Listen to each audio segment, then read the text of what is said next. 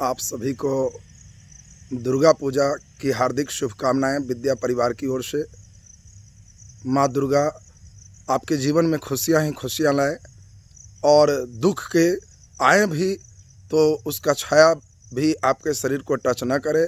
आप उससे निपट सकें, ऐसा शक्ति माँ दुर्गा आपको प्रदान करे।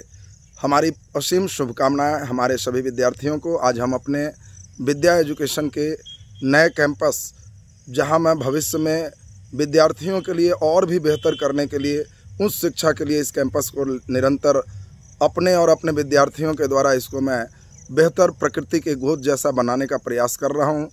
इस कैंपस में जब कभी मैं छुट्टियों में होता हूँ तो यहाँ ज़रूर आता हूँ और यहाँ के लगे वृक्ष को देखते हुए हमें अपने विद्यार्थियों के और तमाम हमारे विद्या एजुकेशन के शुभचिंतकों की याद आती है और सभी लोग को हम हार्दिक शुभकामनाएँ देता हूँ।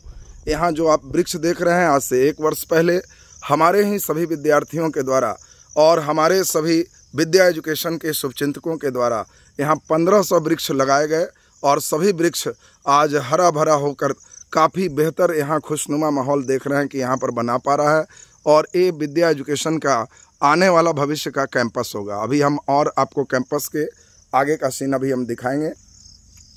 तो जैसा कि आप देख पा रहे होंगे, पूरे सभी वृक्ष यहाँ अभी एक साल में ही अपने लंबे ऊंचाई को प्राप्त कर चुका है। लगभग सभी पेड़ हमारे यहाँ बीस, पच्चीस, बाईस फीट के लगभग ऊंचाई पे सभी आ चुके हैं यहाँ।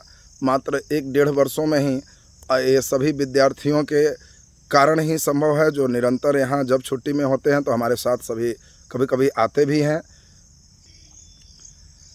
ये गनौरी जी हैं, जो यहाँ पे 24 घंटा निरंतर अपना सुरक्षा प्रदान करते हैं, वृक्षों की सेवा देते हैं। यहाँ हमारे साथ आशुतोष आनंद देख रहे हैं, जो कभी फुर्सत में आज भी यहाँ हमें लाने वाला यही आशुतोष ही हैं कि सुबह ही उठाया कि आज चलें वहीं। और छुट्टियों में मैं हमेशा ब्रश छोड़कर दातुन से ही मुँह देता हूँ और जब छुट्टी में होता हूँ तो यहाँ ज़रूर आता हूँ। प्रकृति के गोद में मुझे बहुत बढ़िया लगता है। विद्या एजुकेशन का कैंपस जो सबसे पीछे आप वृक्ष देख पा रहे हैं, वहाँ तक लगातार कैंपस है। अभी इसमें धान की खेती हो रही है, जो हमारे छोटे भाई के देखरेख में और जो गनौरी जी दिखाए, इन लोगों के मेहनत से आज यहाँ धान में भी हम देखे, आज की सभी धान की बाली अब फूटने वाले हैं और ये केबिन जहाँ मोटर और तमाम सिंचाई के यहाँ प्रबंधन किए जाते हैं, ये ये आप देख पा रहे हैं, विद्या एजुकेशन का एक ट्रैक्टर जो यहाँ के पूरे फार्म हाउस को जोतने का कार्य करता है। अब अभी हम तालाब पे आपको ले चलते हैं, जो प्रकृति वातावरण को और सुंदर दृश्य बनाता है। तो अब आपको हम लेके आए हैं अपने विद्या एजुकेशन के तालाब कैंपस पे। तालाब कैंपस पे आप जैसा कि देख पा रहे हैं, यहाँ बड़े बड़े अनार और सभी सब फले हुए हैं। ये काफ़ी बड़े बड़े यहाँ पे अनार है।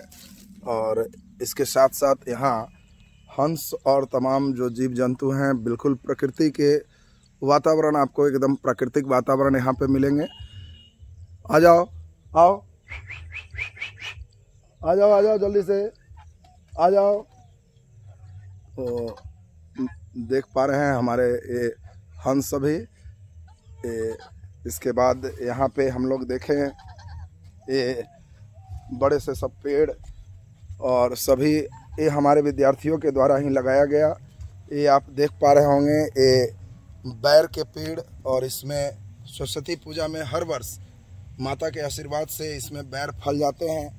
अभी आप देख पा रहे होंगे कई बैर इसमें छोटे छोटे फल लगा, दे दिए हैं और वो सरस्वती पूजा तक बढ़िया बैर के रूप में फल भी यहाँ पे आ जाएँगे। यहाँ पे आप देख पा रहे हैं अमरुद और अमरुद के बागान में भी इसमें काफ़ी, अमरुद भी काफ़ी संख्या में यहाँ पे आए हैं और सभी इन फलों का प्रयोग मैं सरस्वती पूजा में अपने ही कैंपस से करता हूँ। जैसा कि आप देख पा रहे हैं, यहाँ पे हमारे साथ पीछे गन्ना के भी पेड़ हैं। इन गन्ना के वृक्ष को छठ पूजा में हमारे अपने ही खेत से, यहाँ विद्या एजुकेशन के खेत से ही इसका प्रयोग करते हैं।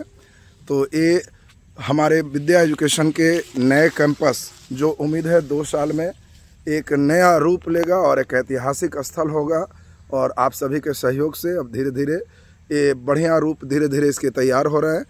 तो इस कैंपस को भी आपको हमने दिखाया, चूँकि आप विद्या एजुकेशन परिवार के एक अहम हिस्सा हैं और आप सभी को इस कैंपस से तहे दिल से धन्यवाद।